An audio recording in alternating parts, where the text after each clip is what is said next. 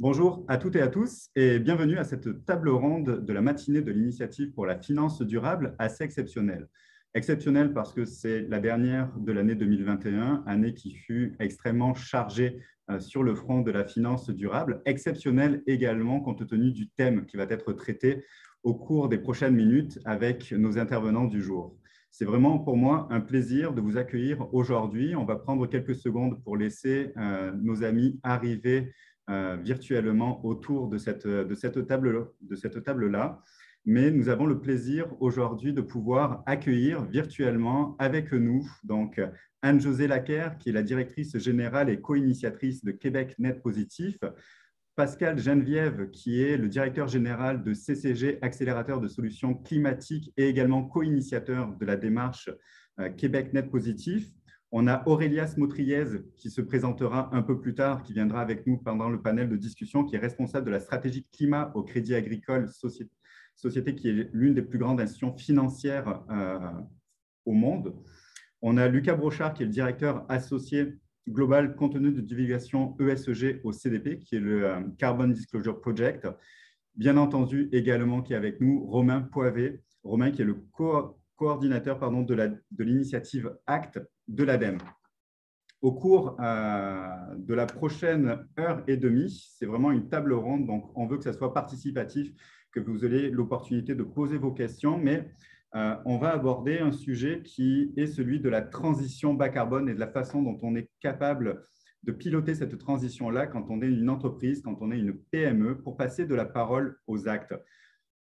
On est quelques semaines après la COP 26 et vous avez certainement entendu, euh, suivi cette actualité, de très nombreuses institutions financières de tout horizon, que ce soit des banques, des assureurs, des fonds de pension, des gestionnaires d'actifs, se sont engagés à atteindre des objectifs qui sont ambitieux, fondés sur la science pour parvenir à des émissions nettes zéro d'ici 2050 au plus tard.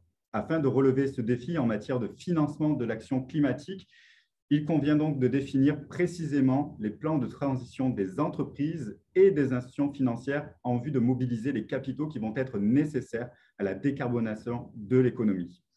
D'ores et déjà, des entreprises transforment ces ambitions climatiques-là en action, tout en permettant aux acteurs financiers d'aligner leur portefeuille sur des trajectoires de transition qui sont donc compatibles avec les accords de Paris. On parle d'une limitation du réchauffement global bien en deçà d'un seuil de 2 degrés euh, d'ici 2100 et également de cibles de réduction des émissions de gaz à effet de serre de façon significative à l'horizon 2050 pour atteindre la fameuse carboneutralité. Bien entendu, cette transition-là va nécessiter de faire face à des risques et aussi à saisir de nouvelles opportunités d'affaires qui vont émerger de ce changement de modèle d'affaires, de ce changement de paradigme vers une économie sobre en carbone. Donc, la table ronde à laquelle vous participez aujourd'hui est organisée dans le cadre de l'initiative PME sobre en carbone, initiée, comme je vous le disais, par Québec Net Positif et CCG Accélérateur de solutions climatiques. Elle a pour objectif de pouvoir vous présenter la démarche ACT, qui euh, veut dire Assessing Low Carbon Transition, qui a été développée donc conjointement par l'ADEME, qui est l'Agence française de la transition écologique, euh, et également le CDP, donc le Carbon Disclosure Project. Vous aurez au cours euh, de cette prochaine heure et demie l'opportunité de mieux comprendre l'utilité de cette démarche, de cette méthodologie qui a été mise en place pour pouvoir accélérer la transition des entreprises, en particulier les PME, et également de voir quelle va être l'utilisation d'une telle méthodologie par les acteurs du milieu financier. Donc, au programme, au menu de la, journée, euh, nous allons avoir d'ici quelques secondes une présentation de la démarche PME sobre en carbone euh, par Anne-Josée et Pascal, on aura ensuite une très brève introduction de la méthodologie ACT par Romain. Ces présentations-là seront suivies d'un panel discussion que j'aurai le plaisir de modérer, au cours duquel Lucas et Aurélia vont se joindre. Et puis, bien entendu, il s'agit d'une table ronde. Donc, vous avez l'opportunité à tout moment d'intervenir, de poser vos questions via le chat de Zoom ou la fonction Q&A Euh, je ne sais pas si c'est possible aussi aujourd'hui, mais si vous souhaitez euh, lever votre main, intervenir également, ouvrir votre caméra, votre micro pour poser une question directement à l'un de nos experts, ben, bien entendu, vous êtes les bienvenus. Donc, sans plus attendre, Anne-Josée, Pascal, Romain, je vais vous laisser euh, le terrain de façon à pouvoir mettre la table sur la discussion d'aujourd'hui. Merci beaucoup, Florian. C'est très apprécié. Est-ce qu'on voit bien mon écran? Oui. Parfait. Merci beaucoup. C'est vraiment un plaisir euh, d'introduire cette table ronde avec une brève présentation du contexte qui nous a amené à collaborer avec Finance Montréal pour amener euh, les intervenants ensemble aujourd'hui. Donc, l'idée, euh, c'est vraiment de piloter sa transition, passer de la parole aux actes. Et pour nous, ça fait partie de la démarche PME sobre en carbone. Donc, comme Florian l'a bien mentionné, nous avons co-initié chez Québec Net Positif PME sobre en carbone en collaboration avec CCG, donc, Pascal Geneviève qui est là à mes côtés, CCG qui est une firme d'accélération de solutions climatiques, donc une firme expert. Et nous avons fait équipe de notre côté qui est un, laboratoire d'idées ensemble pour lancer ce programme qui est vraiment en deux volets. Donc, on a le premier volet qui est un volet de sensibilisation et de mobilisation auprès des PME, mais aussi de l'écosystème d'affaires autour des PME. Et le volet 2 qui est un volet de renforcement des capacités. Donc, on n'est pas seul dans l'initiative PME sur banc carbone. Je vous mets ici la liste des divers collaborateurs, partenaires et projets. C'est soutenu euh, par Desjardins, entre autres, ainsi que de nombreux autres collaborateurs pour vous démontrer que la transition des PME commence vraiment à être euh, présente à l'esprit de plusieurs intervenants ici au Québec. Donc, le volet 1 de PME sur banc carbone, nous avons offert 10 webinaires et ateliers cette année, trois tables rondes, dont la table ronde d'aujourd'hui. Et on a un grand événement qui s'en vient le 9 février prochain. Et l'objectif du volet de sensibilisation, c'est vraiment de stimuler la curiosité, l'intérêt, le passage à l'action de la part des PME parce qu'on s'aperçoit qu'elles ne sont pas vraiment encore prêtes à faire face à un avenir sobre en carbone, mais aussi de prospérer pendant la période de transition qui s'amorce. Donc, pour nous, c'est très important de les sensibiliser à mettre en œuvre des actions climatiques qui soient rentables et puis durables. Pour ce qui est du volet 2, le volet de renforcement des capacités, qui est le volet qui nous amène ensemble aujourd'hui, nous étions à la recherche d'une méthodologie qui est vraiment très opérationnelle et facile à appliquer par des PME. Et c'est dans ce contexte-là que nous avons identifié la méthodologie ACT, en fait, qui a été identifiée par euh, l'équipe de CCG dans nos nombreuses euh, recherches. Donc, ce qu'on aime bien de la méthodologie ACT, c'est que c'est à la fois opérationnel, mais également la méthodologie, elle a été faite sur une base sectorielle. Donc, ce qui est intéressant quand on arrive avec des PME, par exemple, c'est que tous les enjeux de pertinence et de matérialité, euh, les sources d'émissions les plus significatives, elles sont déjà identifiées par secteur. Donc, ça permet d'aller un pas plus rapidement que si on doit partir à faire notre, euh, analyse de matérialité par nous-mêmes. C'est vraiment ACT, une méthodologie qui a été développée pour les grandes entreprises. Mais ce qui est intéressant, c'est qu'elle est exploitable par les PME. Donc, si on se retrouve au, sein d'une chaîne de valeur ou une grande entreprise et les PME de sa chaîne de valeur travaillent toutes les deux avec ACT, il y a la possibilité de créer un dialogue beaucoup plus constructif, de partager un vocabulaire commun ainsi que des objectifs qui sont bien ciblés sur euh, les trajectoires de transition. Donc, pour nous, on trouvait que c'était vraiment quelque chose d'intéressant. Puis la méthodologie ACT, elle est tout à fait complémentaire à la de compte. Donc, c'est quelque chose aussi qui est intéressant et ça permet d'évaluer la maturité puis la cohérence du plan de transition et vraiment comment l'entreprise intègre l'action climatique dans sa stratégie puis dans ses décisions d'affaires. Puis le fait qu'il y a un partenariat entre l'ADEME et le CDP, non seulement ça démontre la crédibilité de la méthodologie, la reconnaissance à l'international, mais vraiment pour nous, ça nous a donné la confiance de l'interrelation entre le volet opérationnel et le volet reddition de compte. Donc, c'est vraiment les éléments clés qui font en sorte qu'on a identifié ACT au départ. On a été formé sur la méthodologie ACT, puis on n'est vraiment pas déçu de ce qu'on a découvert. C'est très intéressant et c'est pourquoi on l'apporte à la table ronde aujourd'hui. Donc, un peu plus d'informations euh, sur le contexte. Les émissions de gaz à effet de serre, peut-être plusieurs d'entre vous le savez, elles sont directement interreliées aux activités économiques dans le monde. Donc ici, on a un graphique des, PIB avec les émissions de gaz à effet de serre et on voit que les deux sont très bien corrélés. Et si on continue dans ce sens-là, les émissions de gaz à effet de serre vont continuer d'augmenter et, vraiment, on a déjà frappé un mur, donc c'est très problématique. On entend beaucoup parler de croissance verte. Qu'est-ce que ça voudrait dire faire une croissance verte? Ça voudrait dire que le PIB pourrait continuer de croître, mais en même temps que ce serait découplé des émissions de gaz à effet de serre. Ça pose beaucoup de défis, puis entre autres des défis technologiques pour lesquels aujourd'hui, on n'a pas toutes les solutions. Donc, la croissance verte, aujourd'hui, compte tenu des défis technologiques, c'est un peu une utopie. C'est pour ça qu'on parle beaucoup de sobriété, mais le défi de la sobriété, à ce moment-là, c'est un défi de comportement des consommateurs. C'est que c'est beaucoup de décisions individuelles qui devraient changer pour cesser la consommation qui est une consommation pratiquement à outrance. Donc, autant la sobriété pure d'un point de vue de comportement des gens que la croissance verte d'un point de vue des défis technologiques pose de grands défis. c'est pour ça qu'on parle autant de la difficulté de pouvoir s'aligner sur une trajectoire où on aurait une prospérité durable, où on va faire un bon usage de toutes les technologies possibles, mais où à la fois les comportements des consommateurs vont aussi être appelés à changer.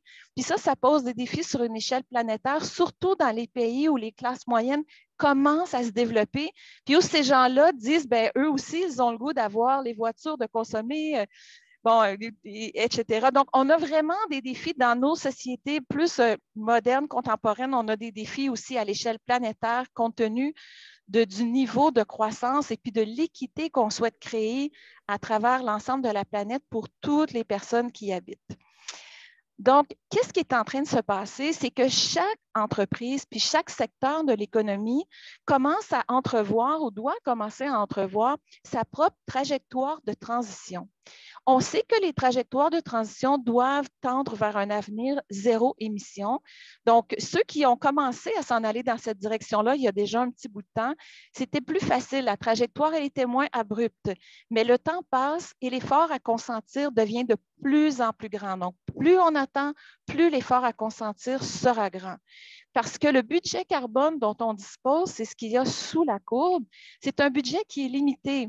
Et si on regarde ce qu'on pourrait émettre, ce serait 500 gigatonnes d'ici 2100 et on en a émis déjà 43 seulement en 2019. Donc, on a beaucoup de difficultés à rencontrer ces échéances-là. Donc, à l'heure actuelle, ce qu'on voit, c'est beaucoup d'intervenants qui travaillent sur la planification de scénarios, l'élaboration de trajectoires de transition, puis on regarde à la fois les risques et les occasions d'affaires. Donc, ici au Canada, on a la chance d'avoir maintenant le groupe consultatif pour la carboneutralité ou le Net Zero Advisory Board, qui d'ailleurs récemment a sorti un rapport très intéressant qui nous donne déjà les cinq grandes valeurs puis les cinq principes pour les trajectoires de transition les plus plausibles. Et puis, le travail se poursuit avec des nouvelles trajectoires euh, à venir. Donc, c'est quelque chose qu'on regarde sur notre radar avec beaucoup d'intérêt. Tout l'effort de la communauté financière et la mobilisation derrière les enjeux ESG qui est exponentiel donne vraiment un signal très important dans l'économie euh, par rapport à l'importance de la transition pour toutes les entreprises. Et nous, chez Québec Net Positif, ce qu'on s'est demandé, c'est quels sont les secteurs qui vont être les gagnants dans cette perspective-là. Donc, un peu plus tôt cette semaine, on vient tout juste de publier une mise à jour de notre cartographie euh, de l'écosystème de l'économie sobre en carbone au Québec. Je sais que c'est très, très lourd, il y a beaucoup d'informations, mais je vous amène sur le dessus de la cartographie. Alors, voici les secteurs porteurs euh, dans l'économie québécoise. Au cœur, il y a le secteur de l'énergie. Bien sûr, on a la chance ici au Québec de produire de l'hydroélectricité. Donc, on est une des seules juridictions au monde qui produit déjà de l'électricité tout près de 100 renouvelable. C'est un atout. On commence aussi à voir émerger les nouveaux modèles d'affaires de l'économie sobre en carbone, entre autres la coopétition, donc la coopération entre compétiteurs, où Énergir, le fournisseur de gaz, a annoncé une entente avec Hydro-Québec pour ensemble, avec la Biénergie, aider le Québec à atteindre ses cibles de réduction sur 2030. Donc, c'est très intéressant. On a aussi nos secteurs plus traditionnels, la technologie propre, le transport, le bâtiment. Mais ce qu'on commence à voir, c'est des indices de transition dans beaucoup d'autres secteurs de l'économie québécoise. Le tourisme qui s'en va vers du tourisme durable, l'agroalimentaire avec certaines pochettes où les gens pensent même à aller vers l'autonomie alimentaire, euh, le manufacturier, le commerce de gros de détail. Donc, On commence à voir des indices avec les solutions fondées sur la nature aussi dans toute l'économie euh, que la transition est en train de s'amorcer. Puis au bas de la cartographie, nous avons cartographié tous les secteurs qui jouent un rôle de levier et d'accélérateur de cette transition-là avec au cœur le secteur de la finance durable et tout ce qui est en train de se passer récemment, incluant l'annonce du euh, ISSB qui s'en vient à Montréal, le International Standards Sustainability Board. Donc, euh, au niveau de la gestion du talent, la mobilisation citoyenne, les villes, les instances régionales qui s'engagent vers la carboneutralité, il y a beaucoup de pressions qui viennent s'ajouter au, marché du carbone comme, comme indice et comme soutien ou levier à la transition dans notre économie. Ce qui ressort très important pour nous, c'est que peu importe où on regarde dans euh, l'écosystème, il y a énormément de PME. C'est le cas pour toute l'économie québécoise. On a plus de 2 millions de Québécois qui travaillent dans des entreprises de 100 employés et moins.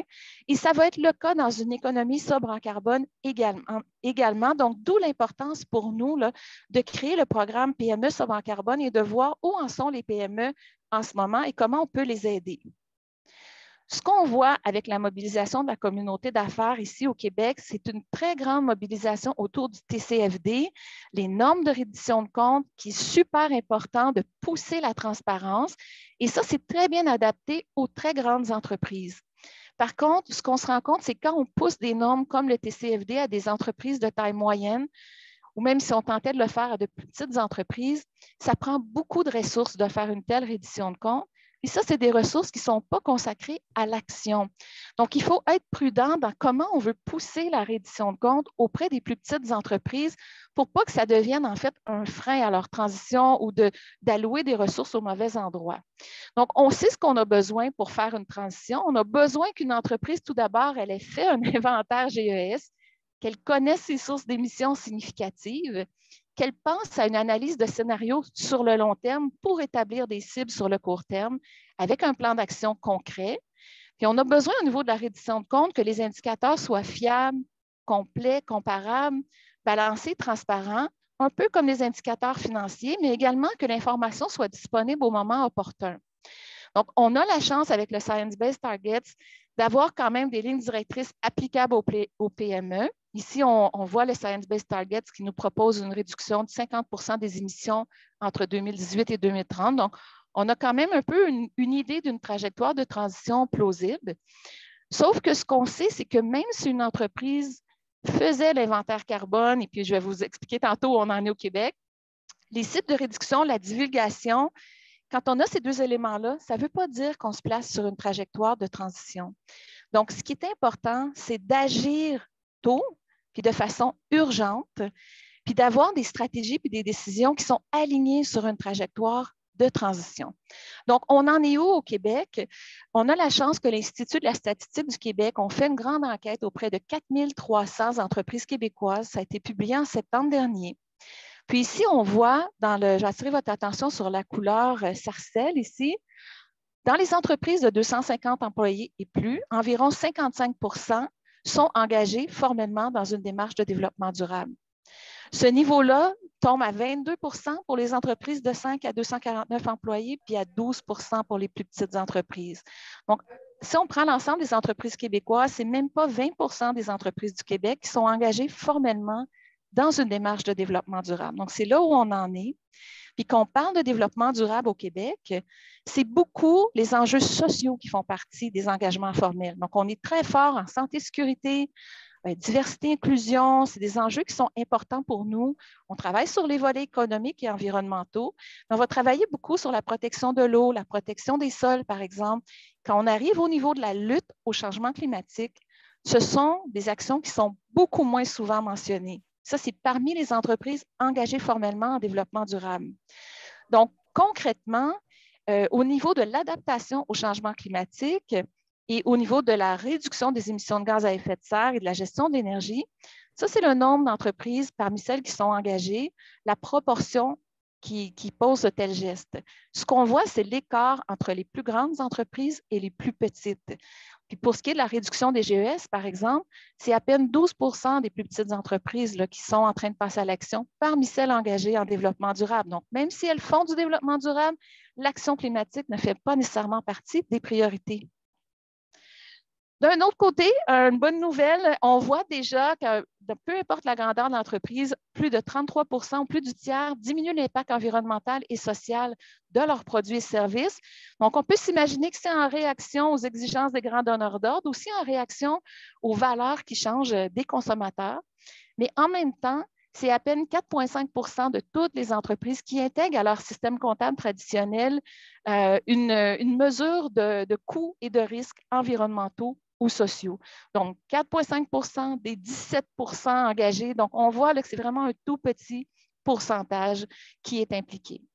Puis les freins, pourquoi on ne voit pas ça? Bien, on, a travaillé euh, beaucoup. Il y a des données qui sont sorties de l'Institut de la statistique, mais aussi de notre travail depuis la dernière année.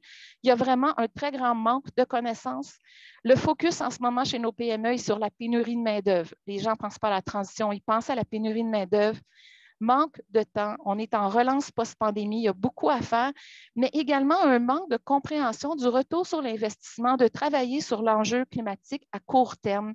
Les objectifs du gouvernement sont faits sur 2030, 2050, ça semble très loin, donc l'urgence d'agir n'est pas tellement présente euh, chez les PME. Donc, sur ça, je vais passer la parole euh, à Pascal pour euh, un peu vous présenter pourquoi on croit que l'évaluation ACT est une bonne idée pour répondre à ces freins. Pascal? Merci Anne-Josée. Effectivement, tu viens de mentionner un des euh, défis, un des enjeux, c'est les outils disponibles. Eh bien, ce que les entreprises apprécient euh, avec l'évaluation ACT, c'est de pouvoir avoir justement un outil qui va cartographier également neuf aspects essentiels, neuf modules de la transition. Euh, ça donne des questions clés, puis une grille de maturité qui accompagne les entreprises pour mettre en place des actions pour relever ces défis-là. Donc, euh, il y a une façon en fait de, regarder ces euh, différents euh, aspects. si tu veux aller à la prochaine. Donc, on peut regarder trois de ces dimensions qui sont les aspects opérationnels. Il y a les investissements que l'entreprise réalise, que ce soit des investissements matériels à travers l'acquisition de biens d'équipement, par exemple, ou les investissements immatériels qui peuvent être en recherche et développement, en formation, eh bien, à travers euh, l'évaluation ACT, l'entreprise va être capable de voir dans quelle mesure ces investissements s'alignent sur une trajectoire bas carbone. Ces investissements, comme vous l'imaginez, ont des conséquences sur la performance des produits, performance des produits qui est également évaluée à travers cet outil. Donc, euh, l'outil ACT permet également de regarder la chaîne de valeur de l'entreprise. Donc, on n'est pas juste sur l'inventaire de ses activités directes, mais on regarde également comment l'entreprise influence sa chaîne de valeur à travers ses fournisseurs. De plus en plus d'entreprises mettent en place des politiques d'approvisionnement responsables dans lesquelles on peut trouver des critères liés à la réduction des émissions de gaz à effet de serre. Également, dans quelle mesure l'entreprise communique ou influence ses clients dans leur choix de produits. Et au final, euh, l'entreprise est amenée à regarder l'ensemble de son modèle d'affaires pour voir euh, les décisions qu'elle prend, à quel point il s'aligne sur une trajectoire bas carbone. Et puis, la dernière, euh, le dernier groupe, si on veut, de, dimension, ben, touche plus la culture organisationnelle. Ça va couvrir les objectifs que l'entreprise se donne en termes de réduction d'émissions de gaz à effet de serre. Ça va également regarder l'équipe de direction, dans quelle mesure elle est consciente des enjeux, elle les adresse, il y a une imputabilité de l'équipe de direction vis-à-vis de la transition, et dans quelle mesure les décisions prises d'un point de vue stratégique intègrent la dimension de transition, et également les, prises de position publiques et la façon dont l'entreprise communique euh, au grand public, euh, ses, engagements, ses actions et dans quelle façon elle influence éventuellement d'autres acteurs. Donc, l'ensemble de, ces, euh, dimensions, mais ce qu'on a fait dans le cadre du volet 2 de PME sobre en carbone, c'est de les mettre vraiment à disposition des PME à travers un diagnostic stratégique d'action climatique euh, qui permet, de, euh, à travers une démarche très simple, rapide à faire, qui permet à l'entreprise de faire le point vraiment où est-ce qu'elle en est dans sa stratégie. Ce diagnostic lui-même est une première étape qui permet donc aux PME comme tu le disais, Anne-Josée, qui ont des défis de main-d'œuvre, de temps, ben, rapidement de savoir où elles se situent pour pouvoir ensuite éventuellement aller vers une évaluation acte complète si elle considère qu'elle est allée suffisamment loin pour se faire évaluer, et donc là de voir dans quelle mesure elle est alignée sur une trajectoire 1.5. Ce diagnostic peut amener également l'entreprise à mettre en place rapidement des euh, initiatives dans son plan de développement durable ou au niveau de la stratégie d'entreprise. Et puis, si euh, l'entreprise souhaite vraiment se faire accompagner parce qu'elle sent qu'elle n'a pas toute la maturité, eh bien, elle peut aller vers acte pas à pas, qui est donc également dans la famille de méthodologie de acte, pour la mettre en place une démarche euh, qui lui permet euh, éventuellement euh, de piloter sa transition et de se faire évaluer au final pour avoir une note acte. Anne-Josée? Merci beaucoup, Pascal. Donc, sur ce, euh, nous allons introduire Romain qui va présenter la méthodologie ACT.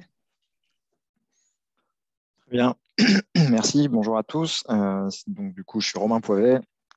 Je travaille au pôle trajectoire bas carbone de l'ADEME, qui est euh, l'agence de la transition écologique euh, française, qui est un établissement public qui est sous double tutelle du ministère de l'Environnement et du ministère de la Recherche et de l'Innovation. Alors, cette initiative ACT, peut-être faire un petit rappel euh, d'où ça vient et pourquoi, pourquoi on a développé cette initiative ACT. L'idée, elle remonte à 2014-2015, on a vraiment concrètement lancé cette initiative euh, au moment de la COP 21 à Paris, en partenariat avec, euh, avec le CDP. On partait du constat qu'il y avait de plus en plus d'entreprises euh, qui, prenaient des engagements en termes de, réduction de leurs émissions, qui se fixaient des, objectifs science-based, comme on dit, mais finalement, il n'y avait pas forcément de, de cadre qui permettait d'évaluer la crédibilité des engagements qui étaient pris. Donc du coup, euh, on a lancé euh, au moment de la COP 21 cette initiative qui est directement inscrite à, l'agenda de l'action du secrétariat, des Nations Unies euh, dans le cadre de l'agenda de l'action qui est inscrit à la Convention 4 des Nations Unies sur le changement, climatique. Pardon. Euh, et donc cette initiative, c'est bah, la seule initiative à l'heure actuelle euh, euh, qui, vise à proposer un cadre de redevabilité climatique, justement pour évaluer les stratégies et les plans de transition des entreprises au regard de cet objectif de rester sous la barre des 2 degrés d'ici la fin du siècle. Donc on a vraiment axé toute la première phase de développement méthodologique sur la partie évaluation. L'idée, c'était vraiment d'avoir ce, ce cadre, cette norme, en quelque sorte, pour évaluer les stratégies et les plans de transition associés. Aujourd'hui, on est en 2021, tout le monde parle de, de plan de transition, euh, que ce soit au, sein du G11, euh, dans, le, discours d'introduction d'Antonio Guterres euh, lors de la COP26, dans le cadre de la révision de la directive européenne sur le reporting extra-financier. Récemment, le, pendant la COP26, le, gouvernement anglais s'est engagé à rendre obligatoire la publication des plans de transition des entreprises cotées. Donc, voilà, cette notion de plan de transition au regard de la décarbonation euh, a fait son chemin, mais il faut savoir que euh, bah, avec, euh, Lucas, notamment quand on a lancé cette initiative ACT en 2015, on nous regardait un petit peu comme des extraterrestres. Hein. Quand on parlait de plan de transition, les gens ne savaient pas trop de quoi on parlait. Maintenant, c'est bien, au bout de six ans, c'est devenu, devenu un, terme clé dans, l'organisation de, justement, de cette, cette, décarbonation à venir. Alors, sur cette base de, euh, standards effectivement, qui vise à évaluer les stratégies, euh, on s'est rendu compte assez rapidement euh, que bah, beaucoup d'entreprises ne savaient pas par quel bout prendre euh, cet enjeu de la décarbonation. Et c'est pour ça effectivement qu'on a, qu'on a lancé cette année cette approche complémentaire qu'on appelle acte pas à pas, qui vise vraiment à euh, bah, outiller les, entreprises, on va dire les moins matures sur le sujet climat, pour qu'elles puissent réfléchir à une stratégie de décarbonation et se doter d'un plan de transition. Donc ça, c'est le cadre historique de l'initiative ACT. Aujourd'hui, on a à peu près 400 entreprises de par le monde qui sont engagées dans cette initiative. Si on passe sur la slide suivante, s'il vous plaît. Donc voilà, tout l'enjeu de cette, euh, initiative, c'était partir du budget carbone euh, et de ces objectifs de décarbonation euh, dont vous parlez Anne-José à l'instant, de pouvoir être capable de transformer ces budgets carbone en trajectoire de décarbonation à l'échelle de l'entreprise par secteur, en intégrant les enjeux de décarbonation qui sont propres à chaque secteur, et puis de pouvoir traduire ça en éléments en termes de stratégie pour une entreprise. Donc, ça nous a pris un, certain temps. Il faut savoir qu'à chaque fois qu'on développe une, méthode sectorielle euh, dans le cadre de l'initiative ACT, ça nous prend à peu près un an. On va regrouper bah, tous, les, acteurs clés d'un secteur, euh, les entreprises, les instituts techniques, les investisseurs ou, ou, les financiers euh, qui sont spécialisés sur, ce secteur-là, des ONG, euh, des académiques, des think tanks. Et donc, on va réfléchir quasiment tous ensemble pendant six mois à bien définir les bons indicateurs, identifier les enjeux de décarbonation. Et ensuite, on va tester cette méthode avec une quinzaine d'entreprises. Alors, ce n'est pas fait uniquement à l'échelle euh, française, hein, comme je le disais en introduction. Cette initiative ACT, elle est inscrite à l'agenda de l'action de l'UNFCCC. Donc, c'est une initiative qui est directement développée à l'échelle internationale. Et donc, cette expérimentation qu'on va faire avec une quinzaine d'entreprises, ça nous permet de tester la robustesse de, la méthode et ensuite bah, de publier cette méthode pour qu'elle soit utilisée par euh, le, plus large nombre d'entreprises possible. Si on passe sur la, sur la slide suivante, euh, donc effectivement, là, on a le cadre commun de l'initiative ACT. Donc, euh, à l'instant, Pascal vous a présenté les neuf modules qui, vont être évalués dans, dans, une évaluation ACT. L'idée, c'est de pouvoir être en mesure de répondre aux cinq questions que vous voyez sur la, partie gauche de, cette diapositive. Donc, premièrement, est-ce que l'entreprise s'est fixé des objectifs en termes de décarbonation? Est-ce que l'entreprise euh, s'est dotée d'un plan de transition? Donc, comment elle compte atteindre ces objectifs? Comment, Quels sont les moyens qu'elle va mettre en œuvre? Euh, Qu'est-ce que l'entreprise fait déjà aujourd'hui pour atteindre ces objectifs? Qu'est-ce qu'elle a fait dans, un passé assez récent qui va soit lui faciliter sa transition, soit au contraire euh, bah, lui mettre des obstacles dans sa transition, et puis quelle est la cohérence globale euh, euh, du plan d'action, du plan de transition vis-à-vis de, des objectifs? Donc ces cinq questions-là, on va y répondre avec différents modules, différents indicateurs qui vont se traduire in fine par une note qui est scindée en trois dimensions, une note de performance, une note euh, du narratif, euh, l'évaluation narrative de, la stratégie de l'entreprise et une note de tendance. Les neuf modules qui vont permettre d'alimenter cette note de performance qui va de 0 à 20, donc c'est les neuf modules que vous a présenté Pascal à l'instant, je ne vais pas revenir dessus. Mais en fait, ces neuf modules-là permettent justement bah, d'apprécier à la fois la stratégie et le plan de transition associé la note euh, d'évaluation narrative, l'analyse va venir ajouter une couche d'analyse supplémentaire dans laquelle il va regarder bah, le modèle économique et la stratégie de l'entreprise, les risques de transition associés, la réputation de l'entreprise, la cohérence et la, crédibilité de l'ensemble. Et ça, ça va donner une note qui va généralement de, va de E à A, A étant la meilleure note. Et euh, l'analyse va également ajouter une note de tendance qui va être euh, de l'ordre d'un plus, un égal ou un, moins, qui va dire, qui va résumer en fait le, bah, sentiment de l'analyste. Euh, s'il devait réévaluer l'entreprise dans un, dans un avenir proche, est-ce qu'il s'attend à ce que bah, l'entreprise améliore sa stratégie ou au contraire dégrade sa stratégie? Et donc cette évaluation, elle est synthétisée avec cette note en trois, en trois dimensions. Elle est surtout accompagnée d'un rapport d'évaluation qui est remis à l'entreprise. L'idée, c'est bien de faire progresser l'entreprise, donc qu'elle puisse identifier ses forces et ses faiblesses au travers de ce, plan de, ce, rapport d'évaluation qui est remis à l'entreprise. Voilà globalement euh, sur comment on adresse cette question de la transition auprès des entreprises. Et je repasse la parole à Florian pour la suite. Super. Merci beaucoup, euh, Romain. Très, très apprécié euh, également cette présentation de la part d'Anne-José, euh, de la part de, de, Pascal. Nous allons pouvoir passer maintenant à la partie de, discussion avec nos, nos, experts du jour. Donc, je vous rappelle, vous avez la possibilité de poser vos questions directement à travers le chat de Zoom ou via la fonction Q&A. Donc, ça nous fera plaisir de les prendre au fur et à mesure. Euh, je vais inviter tout de suite également donc, euh, Lucas euh, à ouvrir sa caméra, à Aurélia également à nous rejoindre, Anne-José également pour la suite de la conversation. Donc, on est une quarantaine de personnes actuellement. Mon objectif, c'est d'avoir 40 personnes également à la fin de, cette heure-là. Anne-José, Romain, vous venez quand même de façon assez brillante de mettre la table euh, sur la nécessité pour les PME aujourd'hui de s'inscrire dans une transition euh, bas carbone. Euh, de veiller aussi à ce que les objectifs de réduction des émissions de gaz à effet de serre soient atteints dans le temps. on a une expression chez nous au Québec qui dit que les bottines suivent les, babines. mais pour le, bénéfice de, toutes les personnes qui nous écoutent aujourd'hui, est-ce que vous pourriez aussi vous présenter, vous l'avez fait très sommairement là, mais dire un peu plus sur vos organisations, qui vous êtes et le rôle que vous avez aussi au sein de ces organisations-là. je commencerai peut-être avec toi, Anne-Josée? Oui, avec plaisir. Merci beaucoup. Alors, je suis directrice générale de Québec Net Positif et co-initiatrice également.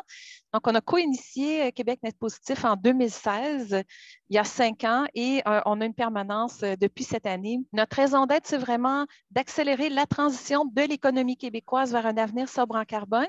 Mais particulièrement, notre mission, c'est de sensibiliser, mobiliser, outiller les entreprises. Et c'est pourquoi on est autant à l'affût d'outils exploitables par les entreprises euh, pour faire leur transition. Donc, de notre côté, on a une vision très audacieuse pour le Québec. Là, on croit que le Québec, d'ici 2050, pourrait être la première juridiction nette positive en Amérique c'est-à-dire que le Québec pourrait rendre plus de services à la planète que ce que sa population et ses entreprises utilisent pour vivre et opérer.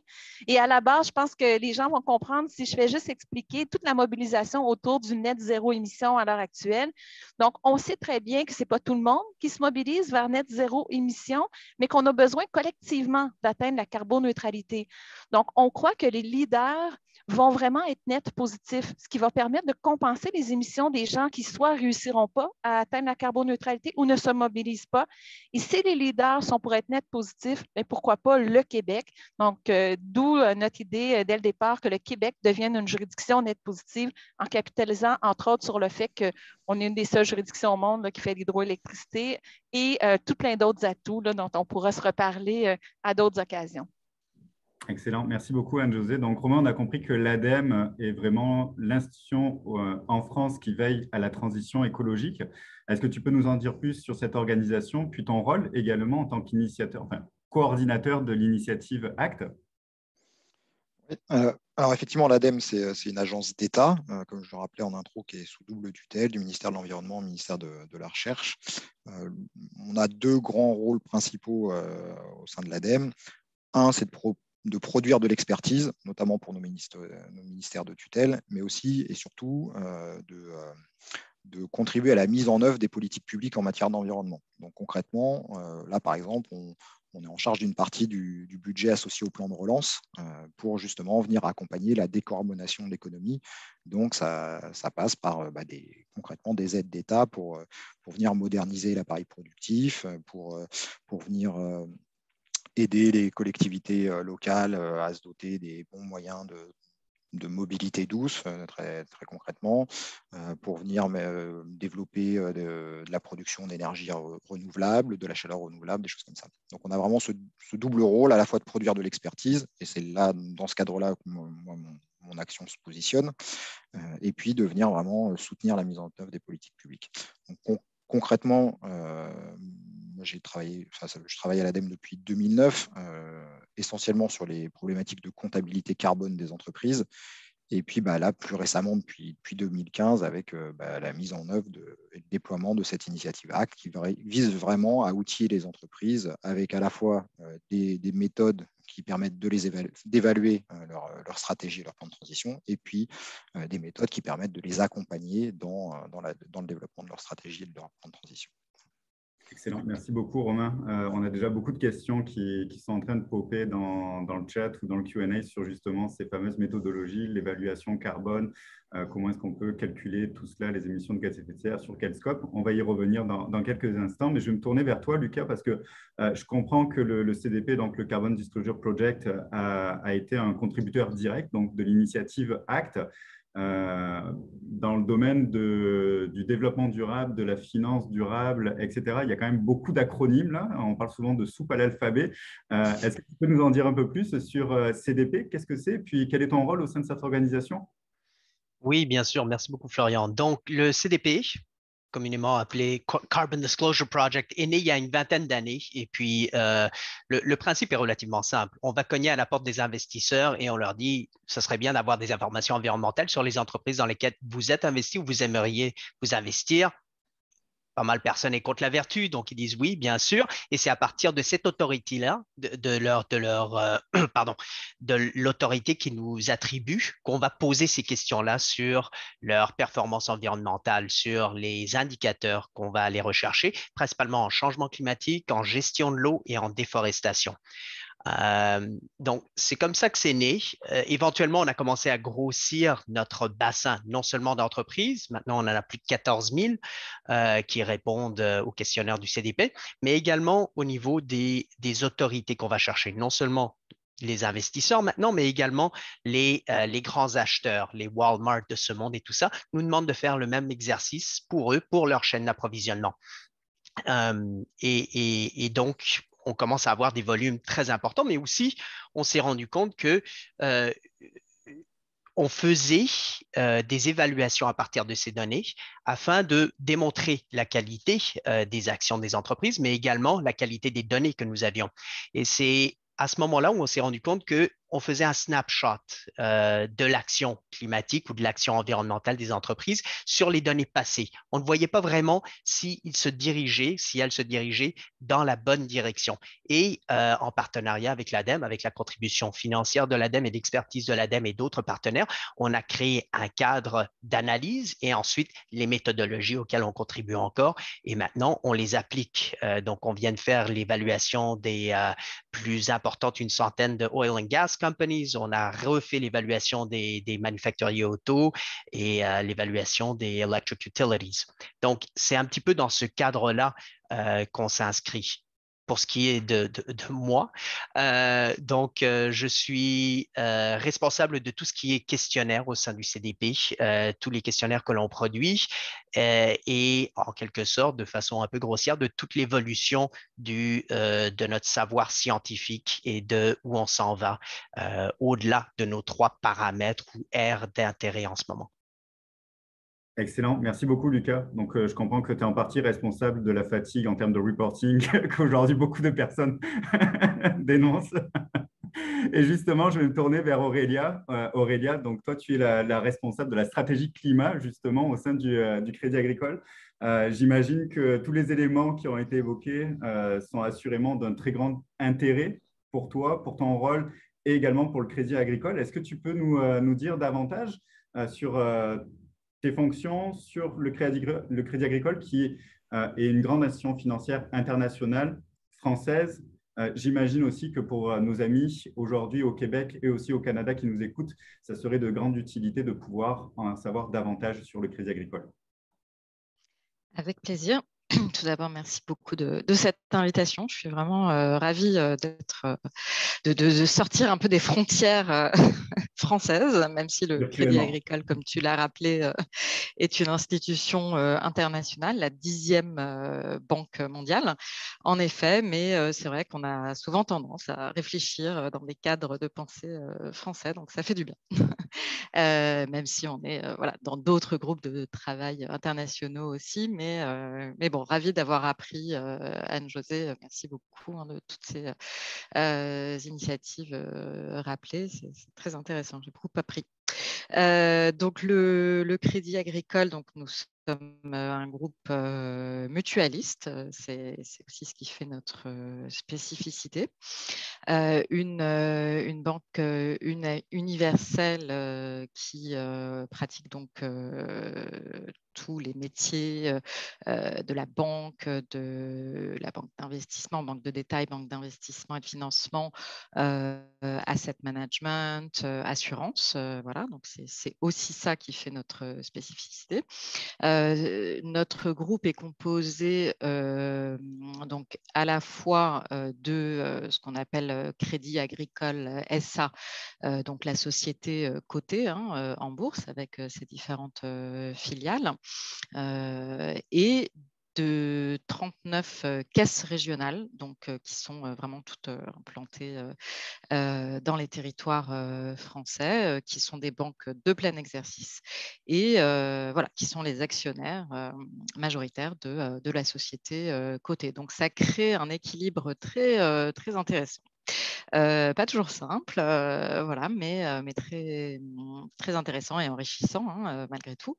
et il faut savoir que donc le, Crédit Agricole a maintenant une histoire plus que centenaire, hein, est né donc dans les territoires et en tant que groupe mutualiste a toujours eu à cœur l'intérêt de ses sociétaires, etc. Mais c'est vrai que ces dernières années, le, groupe a vraiment souhaité mettre au cœur de, son développement stratégique les problématiques sociétales et en particulier les problématiques environnementales liées au climat. C'est la raison pour laquelle il y a trois ans à peu près, le groupe a commencé à réfléchir à sa raison d'être. Je ne sais pas si c'est une notion qui est très familière au, Québec, mais en tout cas en France, ça a été quelque chose d'assez structurant pour différents types d'entreprises.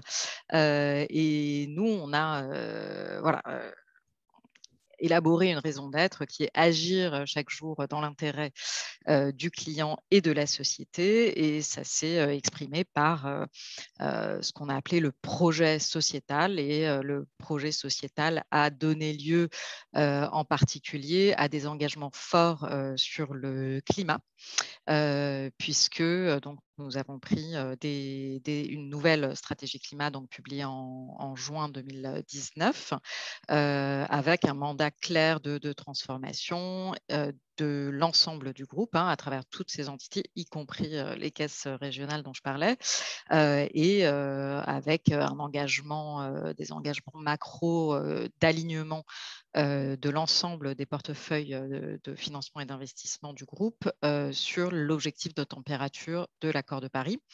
ça, c'était il y a deux ans et demi. Et ces objectifs ont été renforcés très récemment, en juillet dernier, par l'adhésion du groupe aux coalitions Net Zero, impulsées par le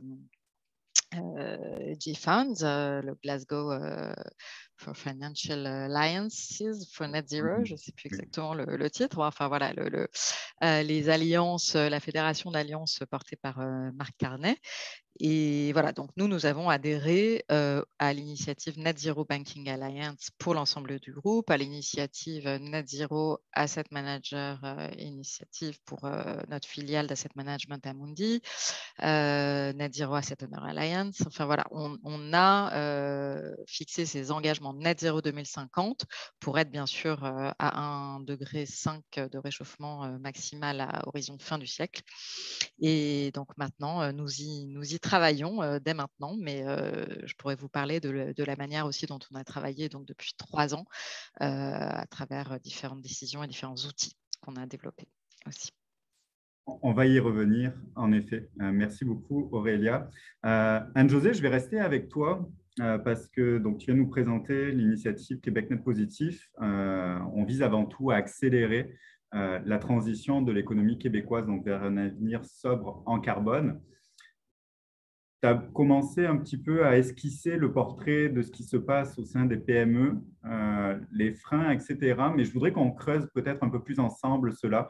Euh, de ton point de vue, là, euh, quelles sont les, opportunités, mais aussi les défis concrets que tu vois pour nos PME en lien avec cette transition? Puis après, je me tournerai vers vers toi, Romain, puis vers Lucas, pour euh, avoir un peu aussi votre, euh, votre pouls international, de voir est-ce que vous avez le même constat, le même diagnostic que vous faites peut-être du côté de la France avec l'ADEME et Lucas, globalement avec les travaux du, du CDP. Mais avant tout, Anne-Josée, je me tourne vers toi.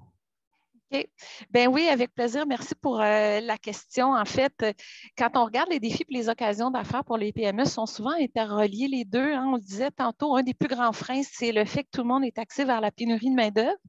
Mais en même temps, pour les entreprises qui, font de l'action climatique ou qui s'orientent vers l'action climatique, Bien, ça leur permet de motiver les employés, de créer de l'engagement des employés, d'être attractifs pour le nouveau talent.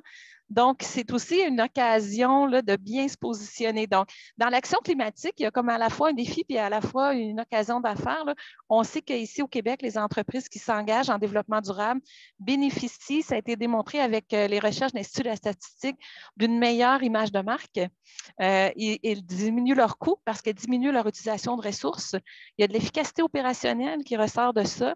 Euh, je pense que le grand défi à l'heure actuelle, c'est de saisir les occasions d'affaires qui se présentent. Donc, on l'a vu dans la pandémie, une des opportunités ou des occasions de la part des PME, c'est qu'elles sont très agiles. Donc, dans la pandémie, on a vu des PME venir répondre à des besoins très urgents de changer complètement leur euh, chaîne de production pour produire euh, euh, soit des produits hygiéniques ou produire des, ventilateurs. Ou, il y a eu vraiment ça. Puis là, ce qu'on a vu, c'était sous le bris des chaînes d'approvisionnement, les grandes chaînes d'approvisionnement très longues, dont beaucoup transitaient vers l'Asie. Et là, ça a fait en sorte que les plus grands donneurs d'ordre sont en train de repenser à des chaînes d'approvisionnement plus courtes, des chaînes d'approvisionnement qui vont avoir à la fois une composante Asie puis une composante Nord-Amérique ou régionalisée. Donc, ça, c'est des occasions d'affaires pour euh, les entreprises d'aller saisir puis aller se positionner dans ces chaînes d'approvisionnement-là. D'un autre côté, on voit aussi la volonté de beaucoup d'économies de s'en aller vers du sobre en carbone. Euh, je disais ici au Québec, entre autres, on a la chance de produire des produits, des matières, euh, des procédés chimiques qui, détiennent un avantage carbone. Donc, de, s'assurer que ces produits-là vont être mis en marché sur nos marchés locaux, mais aussi partout où il y a un potentiel d'exportation, on va encourager l'exportation de ces produits-là. À l'heure actuelle, la plupart de nos programmes d'exportation sont faits euh, pour euh, favoriser l'exportation des technologies propres, mais on a beaucoup d'entreprises moyennes et de petites entreprises qui détiennent aussi un avantage carbone qui pourrait être promu à l'étranger pour toutes sortes de produits dans toutes sortes de catégories. On l'a vu, c'est dans toute l'économie que la transition s'en vient.